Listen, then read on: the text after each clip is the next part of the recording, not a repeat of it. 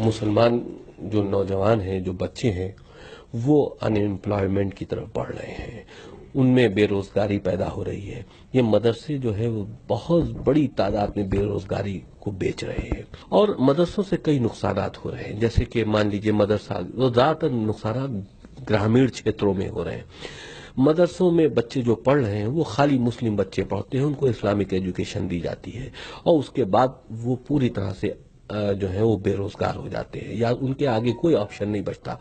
या तो वो खुद मौलवी बन जाए और या फिर कहीं पे मेहनत मजदूरी करें। ना उनको अच्छी नौकरियाँ मिलती हैं। बताइए, आज तक मदरसों से कितने इंजीनियर्स निकले हैं? कितने डॉक्टर्स निकले हैं? कितने आईएएस निकले हैं? कितने पीसीएस निकले